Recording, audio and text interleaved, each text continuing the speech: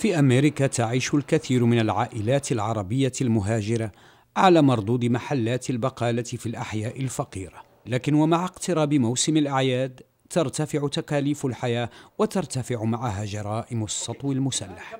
انطلقنا من واشنطن جنوبا نحو بلدة روكي ماونت بكارولينا الشمالية وهدفنا أن نستطلع لكم أمر هذه البلدة التي تقدم كل سنة ضحية من أبناء العرب.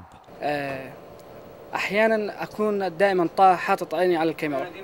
آه، وعندي كذلك مسدس يعني احتياطات الامن في هذا الدكان أحرق المستخدم بغاز الكاروسين وآخرون كثيرون في أرجاء هذه البلدة الصغيرة. هنا وفي هذا الدكان وقبل عشرين عاما بدأت مأساة الأسرة أسرة الملاح حيث قتل الزوج وأب لأربعة أطفال فلنستمع لباقي الأبيض كان في دم نازل من دانه. فأنا كشفت عن صدره.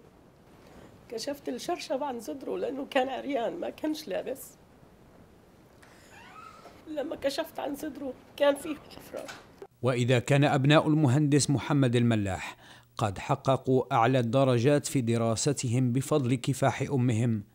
فإن المأساة مستمرة مع وافدين عرب جدد إلى بلدة روكي ماونت حيث لا مفر لهم من هذه المحلات للعمل مخاطرين بأرواحهم في سبيل هذا الحلم الأمريكي أو لعله كابوس فمن يدري.